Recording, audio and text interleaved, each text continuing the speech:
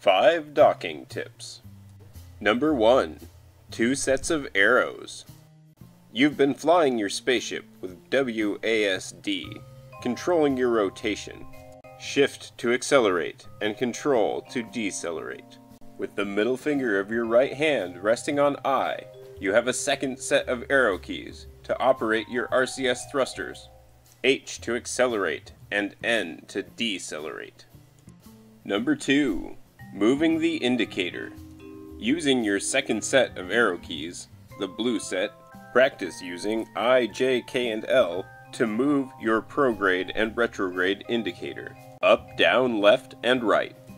Reposition your prograde indicator on the opposite side of your target and time warp until it's directly ahead. Number 3. Angle. Visually line up the approaching docking port with WASD. Number 4. Aligned. Using the blue set of arrow keys, I, J, K, and L, make sure your prograde indicator is pointed directly at your target, and your nose is directly lined up with that. Number 5. Approach.